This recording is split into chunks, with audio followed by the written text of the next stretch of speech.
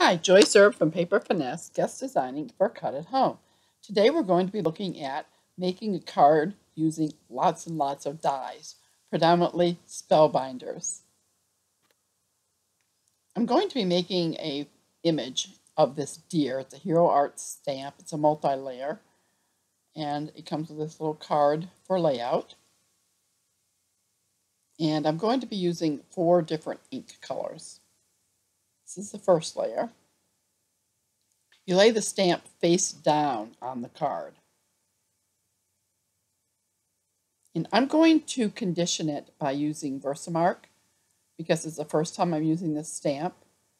And then I dab it off just a little bit. Now I will come in with my first ink, which is Memento Sand. This is the lightest color. And I press it and hold it for a little bit to give the ink time to transfer to the paper. I use the back of my cardstock.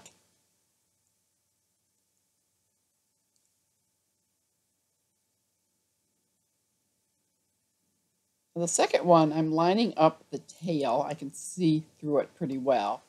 And then I'm trying to line up the nose. And I pick it up with my positioner. And I come in with my second color.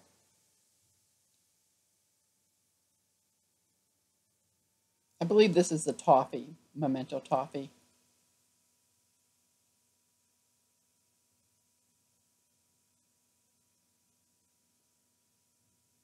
The third layer is the bulk of the stamp. Actually, what happened here is I had to restamp it because I didn't have step three and four video. So seeing I was doing that, I decided to make this one a buck. The project actually uses it without the antlers, which is a doe. So I'm going to be using the same ink we used for step two.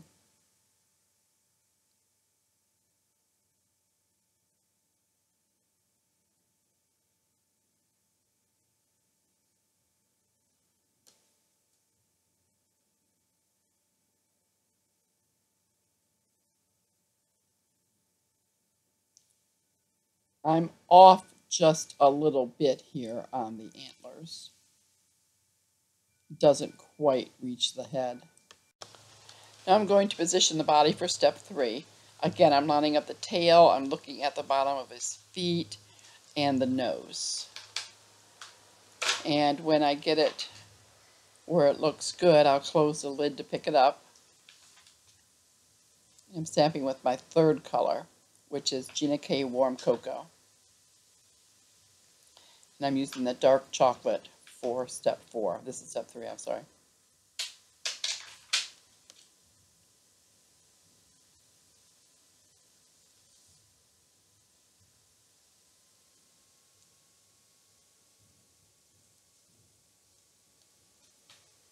Now step four, the dark chocolate is almost black and I'm putting it in position. This one is much harder to tell if it's lined up correctly.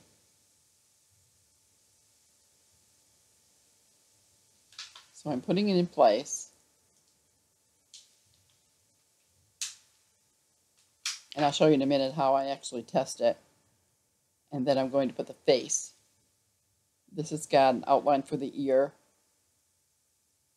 and the nose and the eyes. I apologize for some of the little background noises. My granddaughter got up from her nap before I finished the voiceover. Now I'm picking up the face and the legs. This is a piece of acetate, and I'm going to lay the acetate over it. And I'm going to stamp on it so I can see if it's positioned where I want it to be.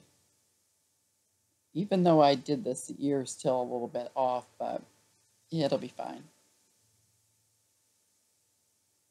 I was paying more attention to the legs. So I look at it and it looks like I've got it pretty good. So I'll take out my acetate and restamp it two times.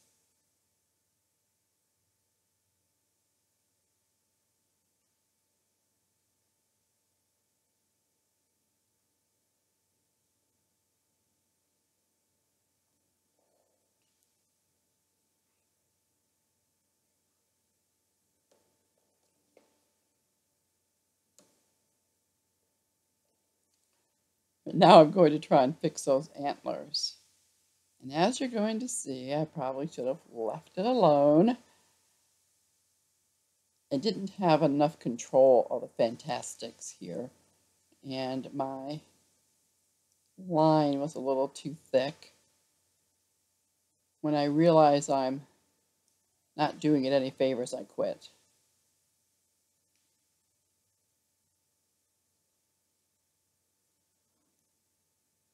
Remember all those little pieces in this stamp set? It's got some holly and some leaves.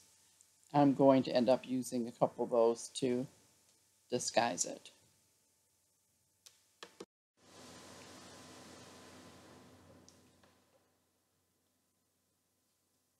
I'm going to use the Memento Red for the berries.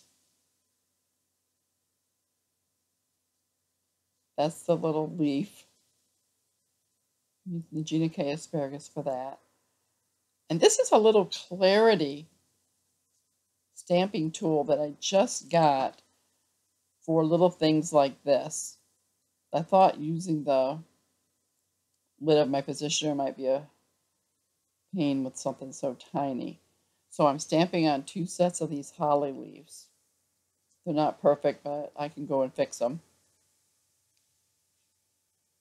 Then I'm going to attempt those berries. These stamps are so dang tiny. I'm coloring it. It doesn't give a good impression. Not its fault, it's me.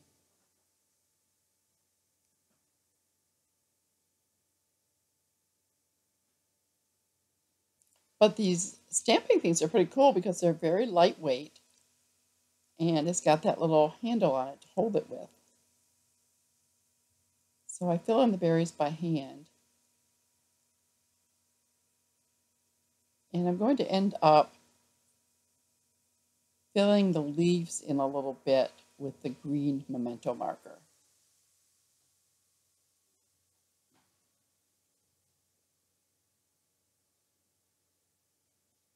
I'm putting,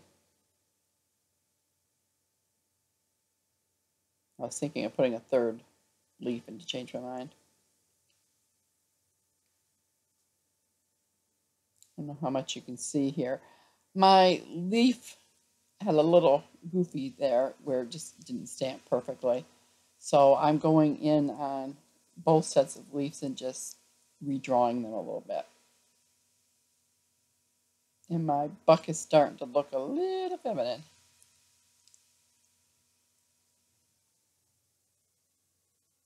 Nah, my buck's looking festive. That's what he is. He's festive. And here he is.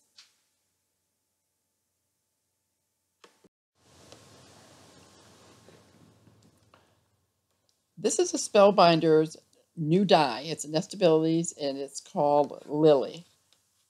It's an accent. It's actually Water Lilies Decorative Accents. These are the pieces to it.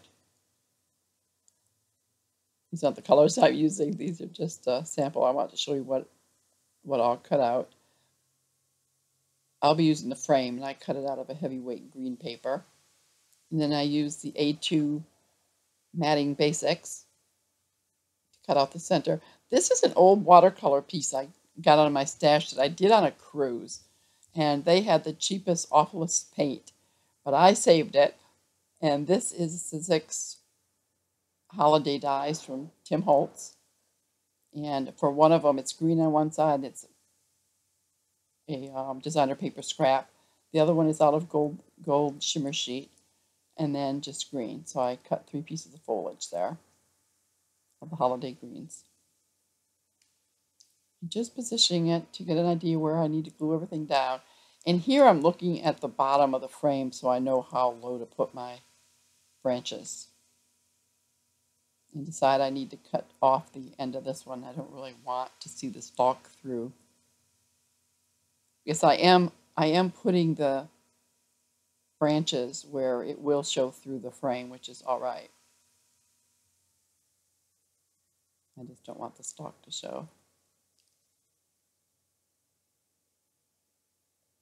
The green doesn't matter, seeing the deer will be in the center.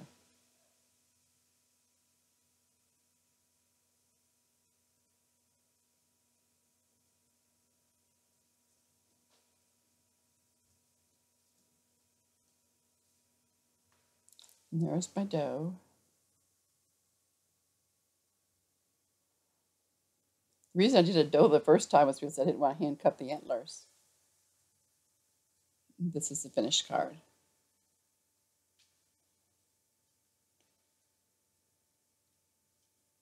I hope you try making this card. The product and written instructions is at the Cut at Home blog. The products we featured today was the Spellbinders Water Lilies Decorative Accent Dies, the Spellbinders A2 Matting Basics, and Sizzix Tim Holtz Holiday Greens, and then the Hero Arts Deer. Don't forget to subscribe to Cut at Home and Paper Finesse. Hope you have a great day and have fun crafting.